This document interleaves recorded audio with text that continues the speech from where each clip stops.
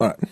Good afternoon. This is April the 2th, 2024. Um, class of uh, Elect 1013 Network Cabling, Fanshawe College. There you go. For the record, uh, just uh, in case uh, maybe 500 years from now, this uh, somebody digs this up, so uh, the archaeologists will have easier time to archive this, right? Right, there we go, because it's so important. All right, so tools and equipment, um, well, and some terminology. Mm. Uh, our job here is to, or at least I know that my job is to get you ready for the so called real world. Um, and, uh, well, to be honest, in order for me to uh, uh, make a full feature technician uh, out of you, uh, it will take probably a year or so, maybe more, or full time study. So, um, some of the key, um, some of the key content you're going to receive uh, from me here. We know how to terminate uh, the basic uh, terminations. Um, and we have learned um, things about um, about the cables that uh, the cable technology um, and as well some fiber and uh, other things that have to do with what I call what I call uh, uh, modern telecommunications, right? Um, which basically is the infrastructures that uh, it's the uh, it's the well it's the data networking uh, from the hardware point of view or the installations the laying laying out the uh, infrastructures which is uh, you know comes down to cabling and then there's more than meets the eye as you could probably tell throughout the course so uh, I'm going to introduce you to some tools that you're going to need and uh, certain terminology for the first part. And then the second part, which is going to be in person um, later on this week, is going to be, we're going to cover some of the, well, somewhat details of um, mm, certain types of mounting and mounts because you're going to be doing that a lot. Uh, network cabling course. This is not just about um, you know running a wire from one end to the other and terminating it. Uh, because uh, if that was the case, we could wrap this whole thing up in about a week. And uh, but would would that give you something? Uh, probably not. Uh, uh, that's what the open houses are for. Uh, all right, so let's take care of some of the tools that uh, that you're going to be using quite often uh, when it comes to this type of a business. Um, now, why I'm doing this thing? Well, when buying tools, when I started my uh, well quote unquote career in uh, in this field, uh, which is sometime around 1991 or two. Uh, all I had was uh, some poor man's uh, side cutters, needle nose pliers, and that's pretty much it. I did have my soldering iron because uh, at that time we were wiring um, the Petrolia City Hall Theater and there was hundreds of lines that need to be sol- needed to be soldered. And i happened to be good at that so they gave me that job for soldering the microphone wires uh, and jacks. Uh, so i did have a soldering iron. Yeah okay. Then um, as time went along i kept adding uh, tools to my well for the lack of a better word uh, arsenal of tools right use that term loosely um, and uh, after about a couple years, um, I had to uh, actually get insurance because uh, the the um, if I had to re- if something you know if if my van because I then I had the minivan to uh, to work with. Uh, if I had to uh, replace everything, um, if something happened, like you know, if earthquake happened and my van, you know, so aside from the car that I had, I would have to probably spend uh, anywhere f- maybe fifteen thousand dollars, maybe twenty, maybe not. Uh, if I had to replace everything at once, so get good deals. Look for the deals. Uh, you always pay too much for the tools when you buy them as you need them because you pay the full price always for it.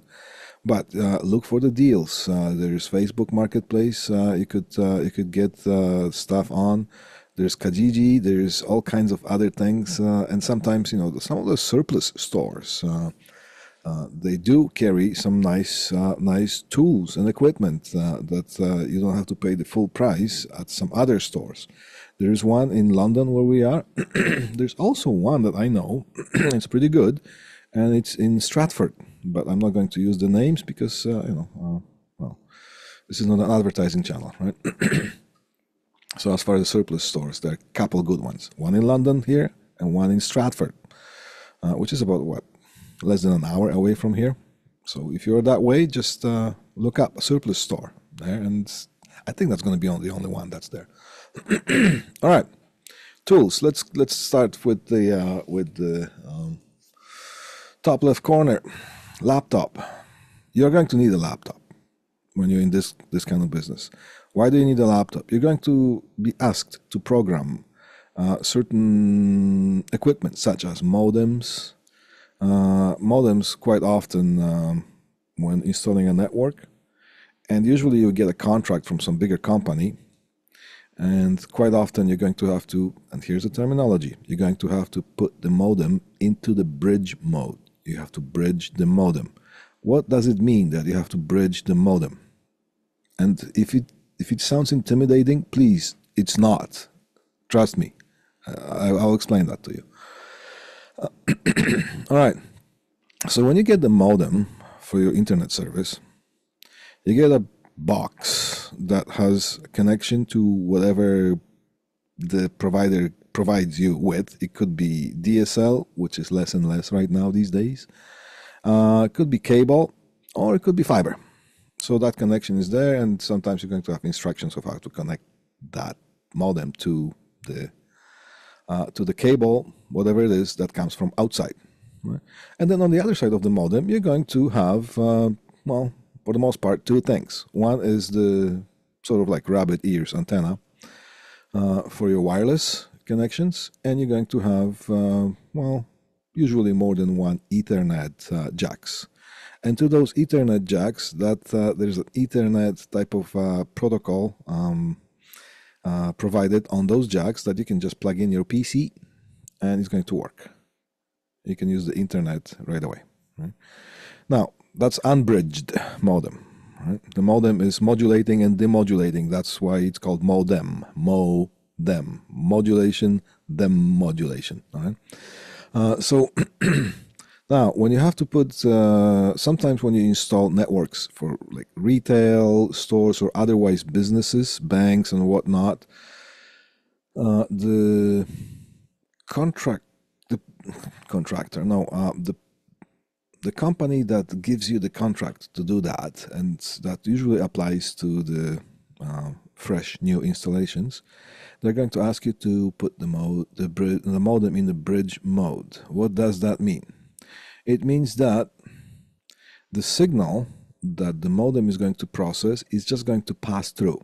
The purpose of the modem is going to be just to lock on to the service provider and pass that through the signal through untouched to something that usually is called a gateway.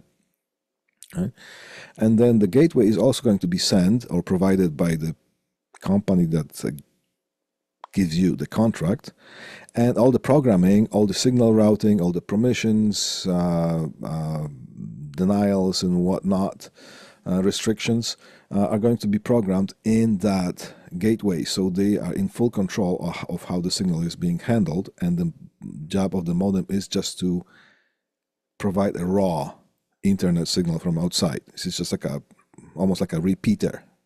Right? So that's why I need to that that's that's called putting the mode in the bridge mode. Once the mode is put, modem is put in the bridge mode, uh, if you plug in a PC into the Ethernet, it's not going to work. So um, yeah, now how is that being done? That usually takes well, it should take about five to ten minutes, but in reality, it takes uh, on the average about an hour if you're lucky. Right? Now, every modem, every model of the modem, or every software version of the of, of whatever modem you're going to get is uh, going to have certain proprietary programming uh, that uh, you know that is going to be different from one modem to another, even from the same company, even from the same whatever. Uh, it's uh, it might be slightly different. So how do you do that? How do you find yourself in all this? Well, when that happens, you are going to get a well, usually an 800 phone number to call the provider and that uh, person, the person who's going to pick up the phone, is going to have all the passwords, all the uh, procedures of all, how to do that particular one. Right? So you do that while you're connecting your laptop to the modem, and usually, right now, the modem is going to be connected uh, to your laptop through just uh, the Ethernet cable, the Ethernet cord, right? through uh, from uh, from your from your laptop to the to the modem, and then you're going to be on the phone, and the person is going to guide you of exactly what to do.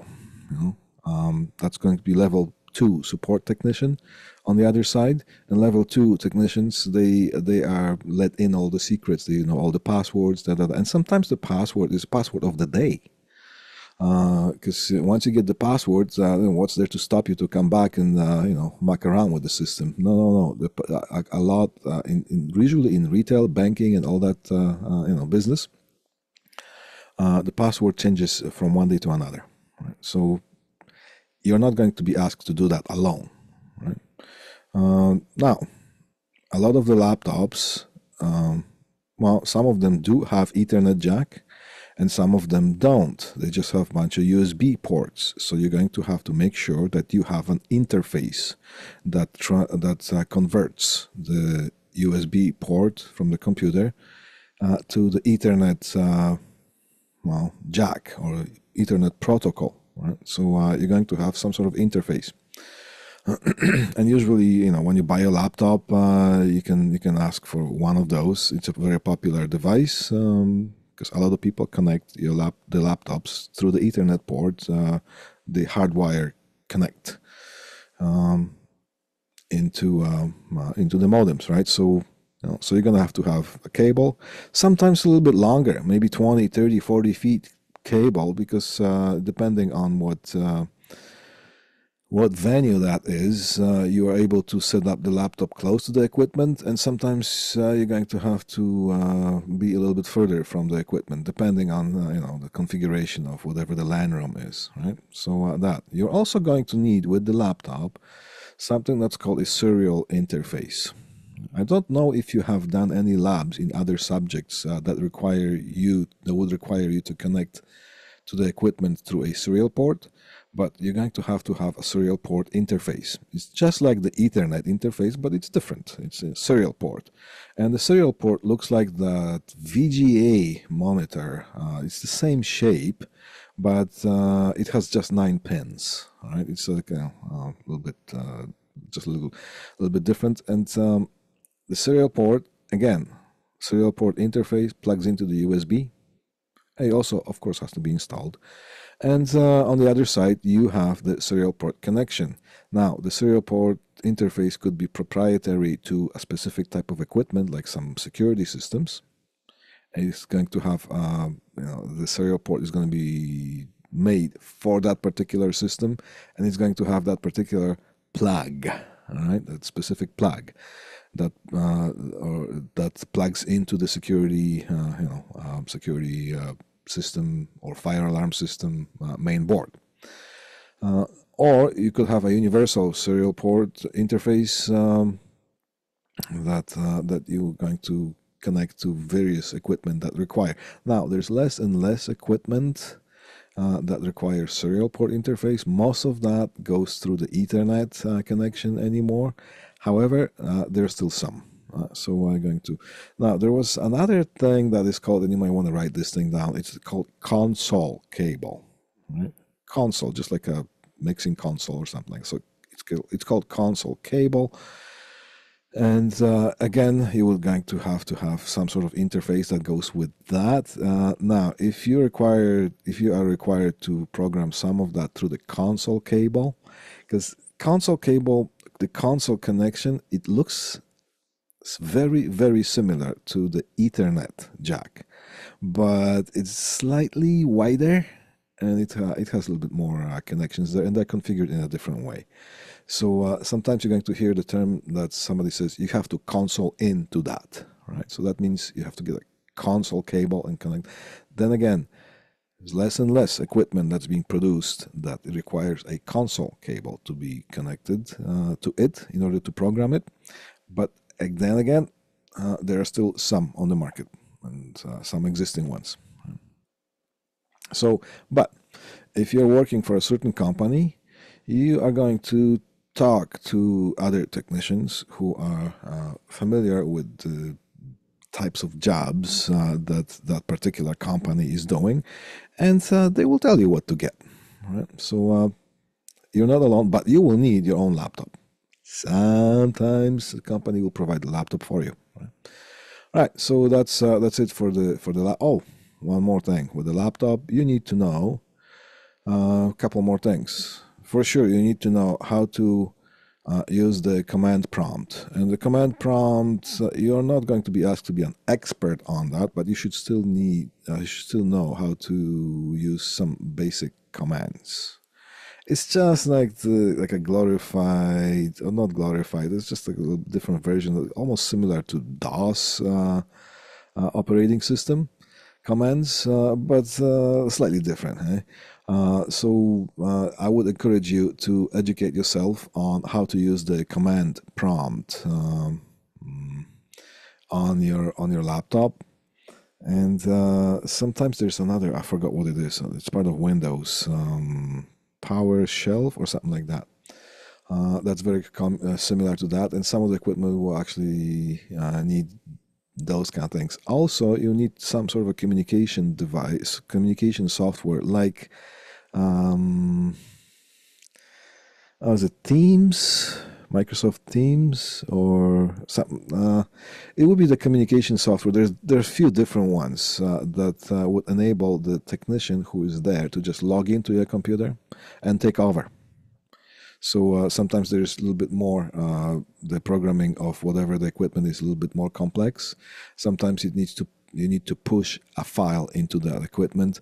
Uh, so uh, it's just easier uh, for you to just say, okay, you know what? Once you just take over my computer and use it as your own at this moment, and just you punch the keys instead of telling me what keys to press. Uh, and I, I still have a couple more wires to. Pull I can just be doing something. Let me know when you're done. Right?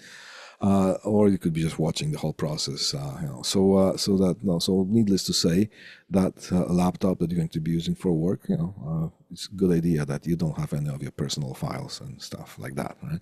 Um, mm, just assume that this thing can be hacked, and if somebody hacks into it, then uh, they're going to get nothing.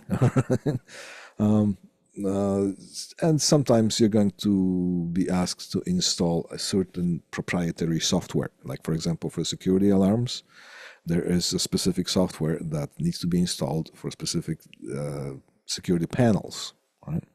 So uh, there you go. Look at that. We are 20 minutes into the class and we just we're still on that first item here right? Uh, all right.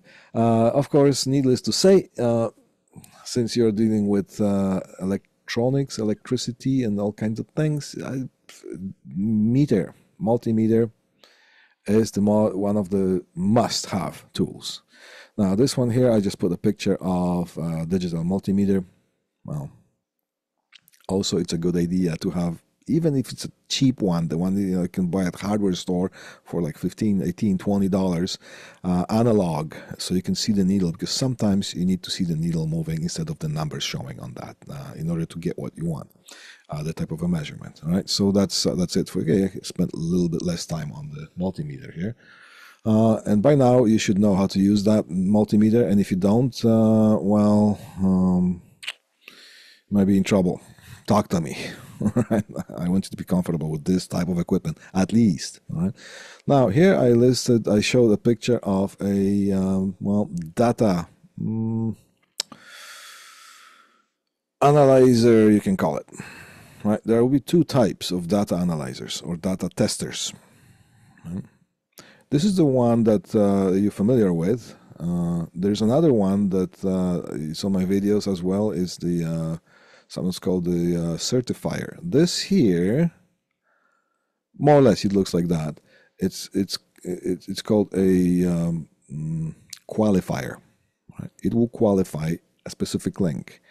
You're going to connect, here's the dummy part, it detaches, you know how to do that. Uh, it connects to one side of the data link, and here is another part, here's the brains of this whole part, and it connects to the other side, and you know, press the specific buttons to perform a specific type of a test.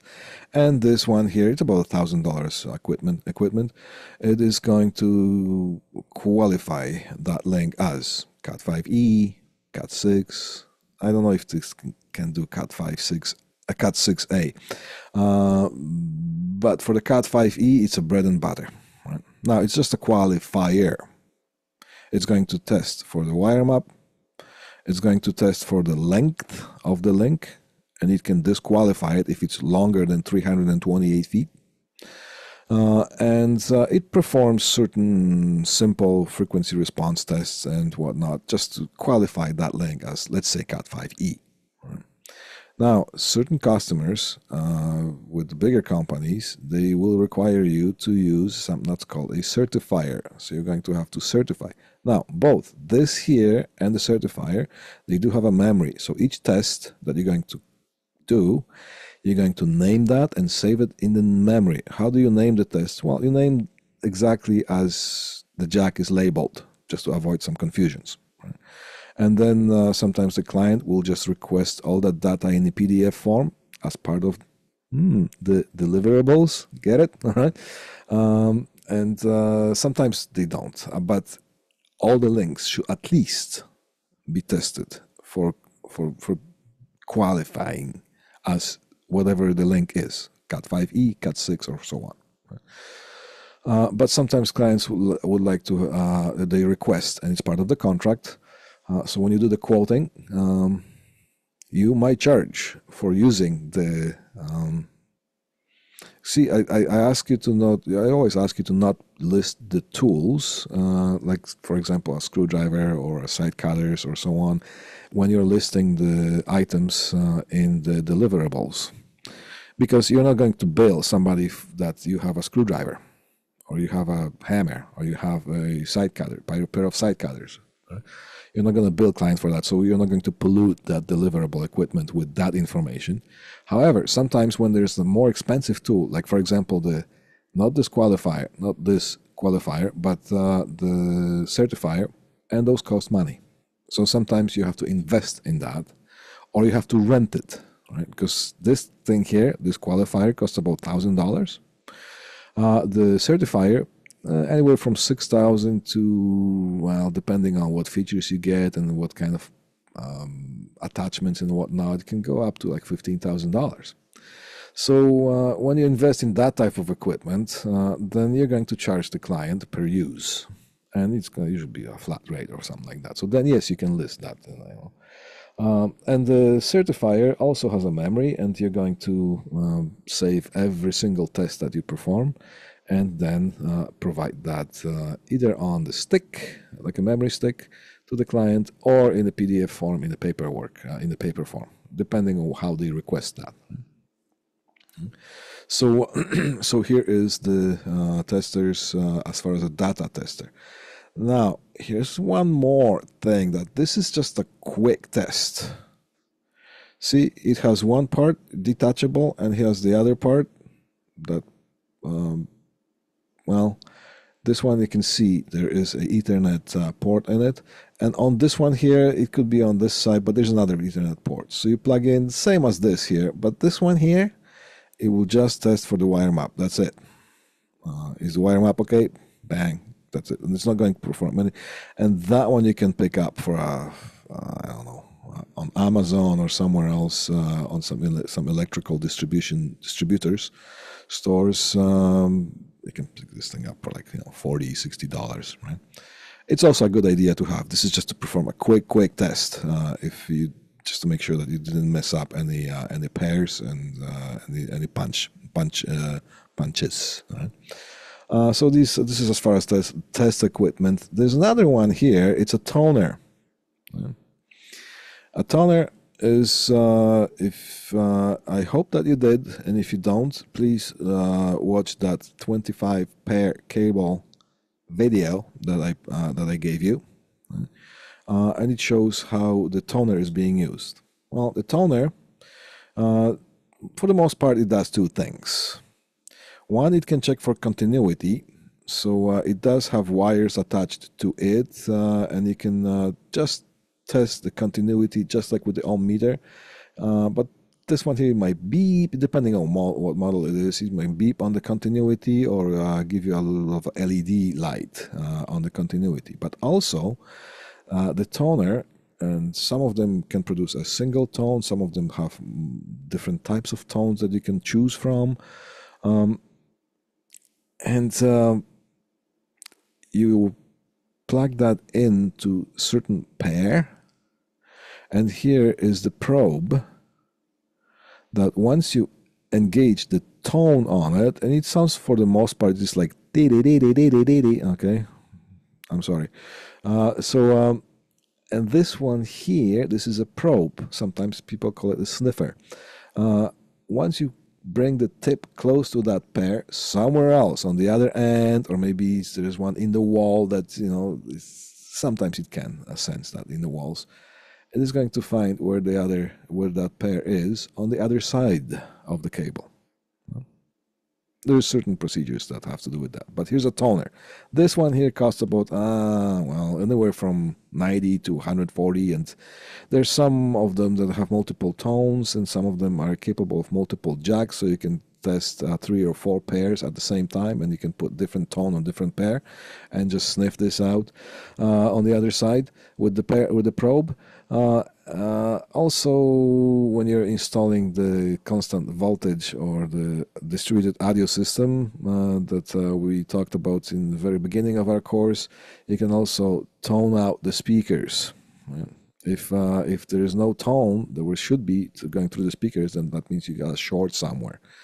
Uh, so uh, so that's before you before you connect the speakers to the main amplifier, the whole array of speakers or the whole strand, uh, strand of speakers to um, um, to the uh, main amplifier output, it's a good idea to tone them out first. Because if it's a short, you can actually damage the amplifier. What else do we have? Well, we do have ladders. Uh, ladders. Uh, the most uh, ladder is going to the most used ladder is going to be six foot step ladder. That's if if you had if I had to just choose one ladder to get that I'm going to probably be using the most, I'll probably get a six footer step ladder. Now, uh, what you're going to end up having probably is going to you're going to have a six foot, maybe eight foot, maybe ten foot step ladder, and then you're going to have probably at least a twenty foot extension ladder. And for the most part, that's going to be in your ladder arsenal. Okay. Uh, so uh, that's what else do we have here? what can we what can we see? All right, here we have uh, drill and drill bits. Goes without saying. Sometimes you mount things. You have to put anchors in the walls. Sometimes you have to join things by screws and whatnot. Uh, sometimes you're going to have to drill uh, holes in the studs or joists in the ceiling or in the walls uh, in order to uh, again so you're going to have different uh, different drill bits these are just a basic this is just a basic drill bit kit but uh, also you're going to probably it's a good idea if you have those butterfly uh, bits uh, google what butterfly drill bit is and you will know exactly you have seen this thing million times probably somewhere when you're passing in the hardware stores uh, all right, so then they're also going to need uh, probably something that's called a flexible drill bit. And the drill bit is just, it has a drill bit on, on the tip of it. I'm just going to use one of those glow sticks example. You're going to have a drill bit, one of those mounted here, and it's going to be metal, steel. And that stick that is there, uh, the drill bit, is going to be like maybe a meter and a half long six, six feet long, maybe five feet long, some of them four feet long, usually four to five feet long. Uh, that's to uh, drill uh, inside the walls uh, and, and, things like that. Right? So uh, that will be the drill bits. But as you get hired, you will observe other people using it. You will know exactly what I mean. Um, so that as far as the drilling, and you're going to probably have just a regular bread and butter screwdriver type of a drill. it is also good to have your you will need a uh, hammer drill that you can have a hammer impact. Also, you can use the concrete drill bits to drill into concrete. Um, and um, you will probably have uh, one of the not cordless drill if you need to do some heavier drilling. Now, if you need to do some really, really heavy drilling, then uh, if this is something that you do on a regular basis, that you're going to invest money in buying uh, some really heavy duty drill. Or if it's just one time, you can rent it as well? Uh, but then again, as you go along, you observe the people you work with. Uh, nobody's going to throw you to sink or swim into uh, into the action uh, and ask you to perform right away if you're the new person that's hired. They will pair you up with people who have already done the stuff, and you will be doing this thing under their supervision, under their watch. Uh, they will take care of you, and just be nice to them, right? Um, and uh, and you will be learning that as you go along. It's impossible for me to give you 30 years of experience in in 14 weeks, right? With couple uh, couple hours per week.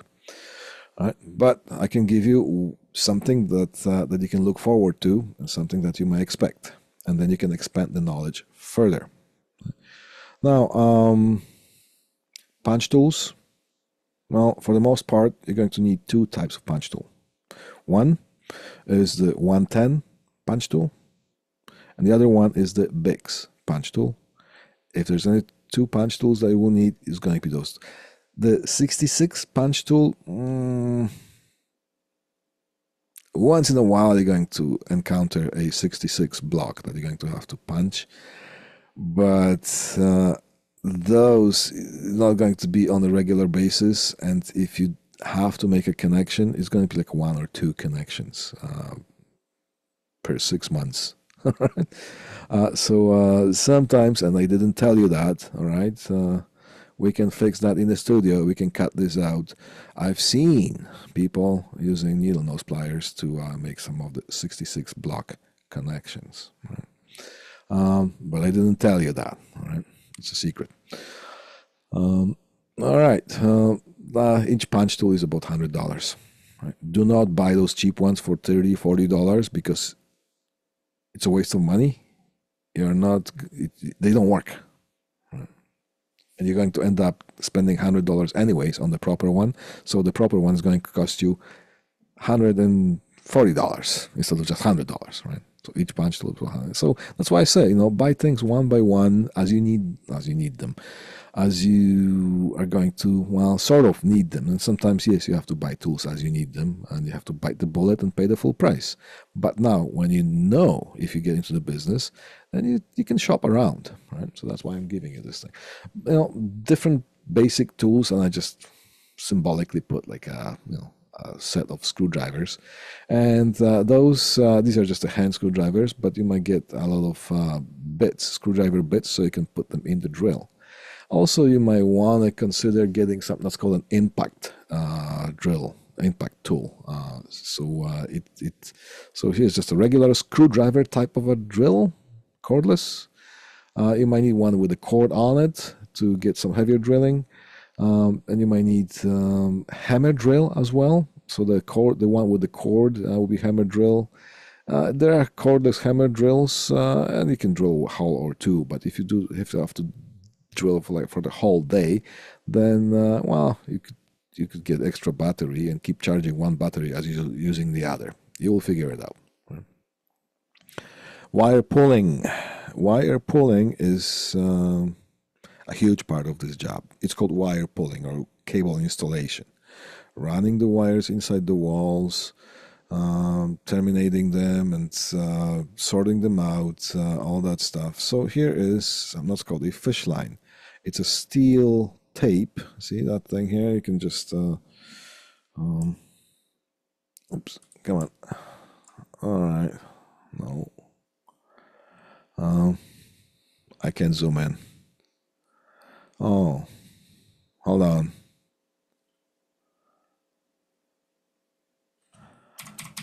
Okay. This thing just went nuts on me. I was trying to zoom in. All right, so you can still see that thing rolled into that thing here. That thing rolled into that thing, the red thing connected to the blue thing. Okay, so here's the steel tape rolled onto roll into the housing, and as you hold the handle, pull that out, it unrolls, and you can use the handle to roll this thing back in.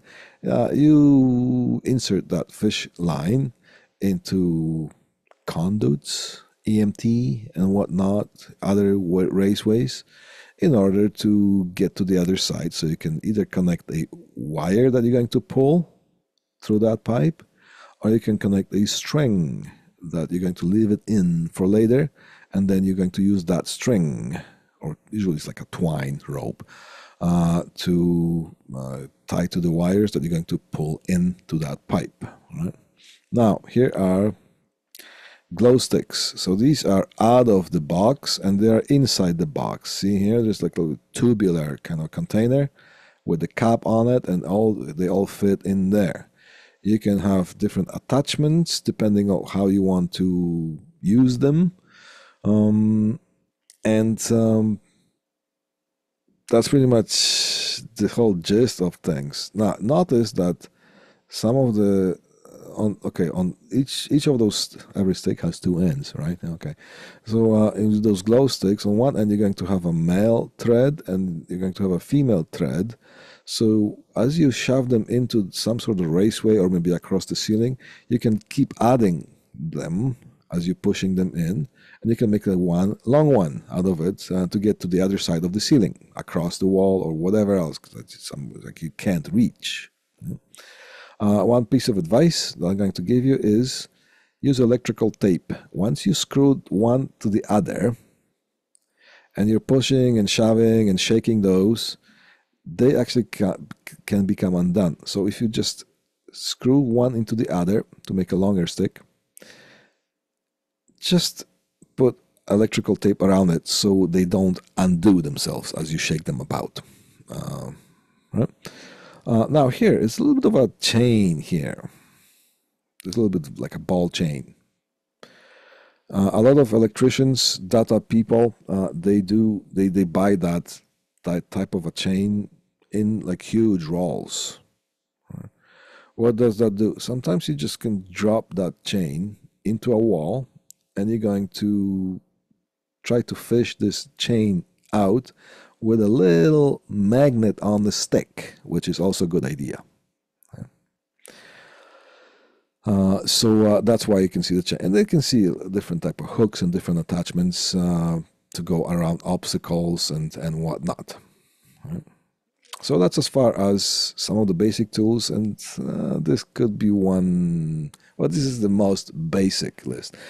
Uh, of course, I didn't uh, put like side cutters or um, different type of crimpers depending on what you're going to do. You have seen all that in action because we did the labs, right? All right, here's that one slide. Okay, now we're going to do uh, is we're going to take a look at uh, the project stages. It's still part one of this presentation. Project station stages stations project stages. We can go it can pretty much subdivide every project into stages. One two three four uh, about that. One two three four five stages here right? First is the survey assessment site work commissioning and billing. More or less. That's going to be it. Survey. It's one of the most crucial. Actually, actually you know everything is important here. You screw up one of those and if you mess that up, uh, you don't get paid, right? Because the job is not done. There's the job has to be done. Cannot be done 90%, cannot be done 50%, can't be done or at least I tried. Nobody's going to pay you for at least I tried. Job has to be done. All right. So, survey, one of the most crucial ones. During that process, hmm, let's see here. Site survey. What did I write here? An inspection of an area where work is planned. The type of site survey and the best practices required depend on the nature of the project. Hmm. This is where you go on site and see what's what, what needs to be done, what challenges you might encounter. Are there any firewalls that you're going to have to uh, uh, go through uh, and then fix them up after you're done? Is there any difficult places that uh, is going to require extra, maybe equipment or extra time to uh, pull the wires through? Is there any uh, raceways that you need to install? Are there any existing raceways that you can use? Is there some wiring that needs to be removed? anything that is, what type of equipment? Is it a new installation or is it retrofit? Um, you know, if it's a retrofit, what parts of the other ones can you use? Is the wiring uh, that is existing wiring existing wiring that can be used, or we need to pull another? All those things. What type of equipment you're going to need? Uh, what can you use that's existing? What additional things? What new things are going to? Are there any other? You know, so that takes a big experienced uh, person to go and uh, and do the site survey before you can price the job. Right. Um, for that, what do you need? You need a notepad. You don't need a camera. Well, most of us have the cameras in the cell phones. So you're going to take lots of pictures. Make sure you have enough memory in your camera. You need the tape measure, basic screwdriver kit because sometimes you have to open some panels and whatnot. Flashlight. Whoa, you're going to have to just need a flashlight for sure and uh, you're going to need a ladder at least uh, well six foot step ladder and maybe uh, some extension ladder uh, somewhere in your van because right? sometimes uh, you're going to have to climb to some things sometimes uh, the companies do they do have ladders on site but it's just that much more professional on your side if you come up come with your own equipment you sometimes okay most for the most part when you do the quote you try to impress the customer because quite often you're going to be not the only one that quotes on that job and they'll have to choose uh, from different companies that quote on the same job and they're going to choose the one that they like best right? So if you start going around and say uh, is there a ladder i can borrow? Is there a and there's another person that comes after you maybe next day or so and they're not going to ask for that. They're going to have their own. They're going to be dressed nicely. And they are going to have a nice haircut and they're going to have their own PPE because sometimes you'll be required to wear safety glasses or a hard hat to walk into to walk into certain areas. Again, not very professional. If you oh, can I borrow a hard hat from you? Is there a way? Do you have an extra one? Uh, and then again, there's three other ones that are going to come after you, and they are not going to ask for that. They will have your their own. So. Yeah. And of course, you need the knowledge. Uh, without the knowledge, you can't do a proper survey. So you need to have some experience. Now, based on the site survey, you're going to do the assessment, or also known as the quote, the pricing, the evaluation, the estimate. These are just like thesaurus, almost words here, right? uh, and you know this can make you or break you. If it's a small project and if you mess it up, you underprice it, you underquote it, you're going to lose money on it. On the small projects, you you you lo- you would lose small amount of money, relatively small, and you go, oh darn, but maybe we can make up the gap on other projects. Ah, okay, well from now on, let's let's be smart, right? Again, you don't want to lose money on any, even a small project, because you, know, you will be in the business of making money or not losing money, right? So uh, but on bigger projects, you can actually go bankrupt. Because once you set the price, you have to do the job for that price. And if you can't, you have to file for bankruptcy. And the company goes under. Not a very good situation, obviously, right? What do you need for the assessment? You need to have certain suppliers and distributors that you'll be dealing with. Uh, in order to get prices for the equipment that you're going to have to quote. You need some sort of office setup so you can a you know computer, printer, some fax machine, uh, but well. Um, and of course, you need the knowledge. Some people are very good at doing quotes, and they're being liked. Some people just go around and do just quotes because they're so good. They're so bang on the money. Uh, you need to know how many people you need for this job. You need to know how many uh, hours uh, it will take and how many people it will take to do certain tasks. You need to tally, tally it all, tally it up, and uh, when you come up with the final price, you better be able to do that for that price. All right, then there's the site work. Well, not much to say that. Installation and service. Brand new installation or retrofit installations. Retrofit is um, maybe you replace just the head end, use the existing wiring, and maybe you replace the head end of the equipment and you replace the uh, the end. So, so you know you install a new server and um, bunch of other PCs, or install a new install a new phone system, use this existing wiring, and uh, give people new uh, telephone sets. Right? And of course, service is a big part of that too. Service calls happen all the time. It's a regular part of the job. What do you need? You need PPE and everything else, and your tools and your knowledge. Right? Oh yeah. Okay. Here, commissioning. Commissioning is a fancy word for presenting the system. If you installed certain nurse call system, you installed certain fire alarm, certain security alarm, certain phone system for the client, you need to train the personnel on using that equipment that you have just installed. It's called commissioning, right? And training. What do you need? You need you. you need the audience and depending on what the what the venue is or what the equipment venue, you know, those colloquialisms, venue, caveat. All right, um, absolutely. All right, so uh, uh, some sort of conference room because sometimes you're going to need to set up some demo equipment there, and uh, but you need some sort of room to get the people in, and you can do it in stages. Uh, you, might have to do different training for the management because they will be using this thing differently, uh, different uh, uh type of training for the people on the floor, or whatever. It, well, it, it goes endless. Depend it depends on the equipment that you have just installed. All right, and here's is that the last slide of that? Yes, that's the last slide of today. The here's the favorite part uh, is the billing. One thing I'm going to tell you about the billing do not set up the billing so you say, okay, once the whole job is done, you're going to pay me.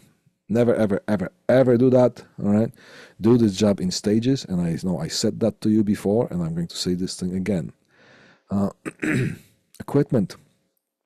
Get the equipment from the distributor, deliver it on site, and once you deliver it on site, you have to have it in the contract that once the equipment is on site, not necessarily installed, it could be in boxes, then you need the check for the equipment. If you don't, you take the equipment back to the distributor and you don't do the work. Uh, trust me, this is the way you want to do. And you really have to be really um, decisive about that. And that's all I'm going to say. If you don't listen to me, he'll find out.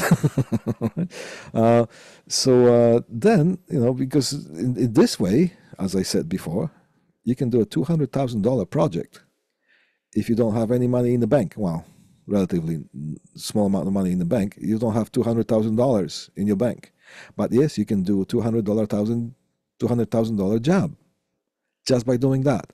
Get it from the distributor, deliver it on site, mark up ten percent get the check, and you already made money.